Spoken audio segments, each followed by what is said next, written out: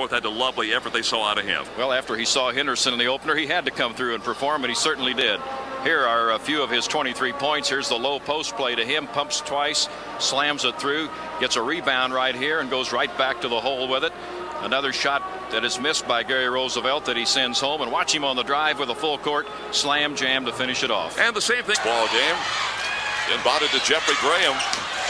Now here is Robinson inside for his first two points of the game. Robinson had Ella Shirts in there. The guy that got the rebound was Carlos Floyd, and here's the slam by Robinson.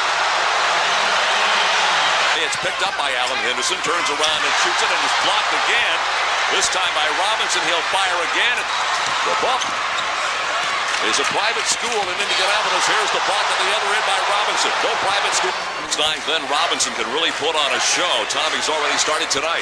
Well, he takes the pass from Daryl Woods and goes right to the hoop, and bingo, he knocks that ball right down through there and gets Brad Hostetter out of his way as he's trying to head up court.